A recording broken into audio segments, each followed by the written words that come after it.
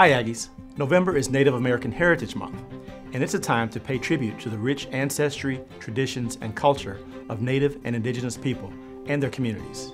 At UC Davis, Native American and Indigenous Aggies have made immeasurable contributions to our campus as teachers, scholars, writers, artists, and so much more.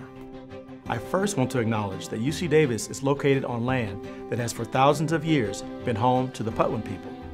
There are three federally recognized Patwin tribes, Dehe Band of Wintun Indians of the Colusa Indian Community, the Dehe Wintun Nation, and the Dehe Wintun Nation.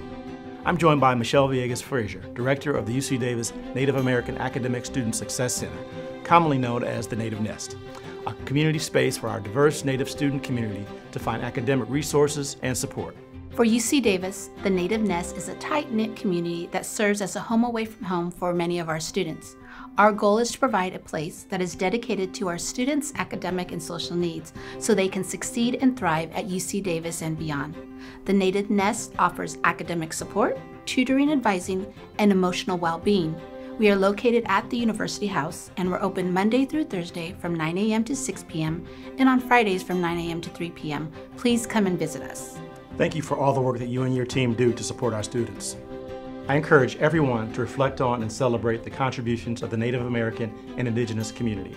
You can even start right here on campus by visiting the newly reopened Gorman Museum of Native American Art, named after Carl Nelson Gorman, who was a founding faculty member in the UC Davis Department of Native American Studies.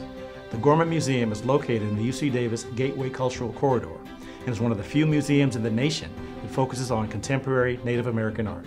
Its outstanding collection consists of about 2,250 works.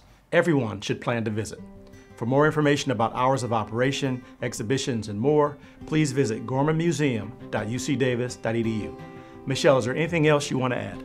The Native American Heritage Month has been a collaborative effort across department, programs, faculty, staff, and students. Our goal of our programming is focused on how we indigenize UC Davis. We have partnered with Student Housing and Dining Services to bring a Diné celebrity chef, Freddie Bitsoie, to provide a Native American menu in our dining commons the week of November 13th. Through our collaborative efforts with Native American faculty Dr. Kathleen Whiteley, we will be screening Tuluwat Reclaimed, a documentary of the California Wiyot tribe's journey to reclaim their traditional homelands. And then to close the month, the student organization American Indian Recruitment and Retention will host a community closing where we hope to reflect and share space in community. These are just a few of our highlights going on throughout the month. Follow us on Facebook and Instagram for more details. Our Instagram handle is Davis Native Nest. We hope to see you throughout the month.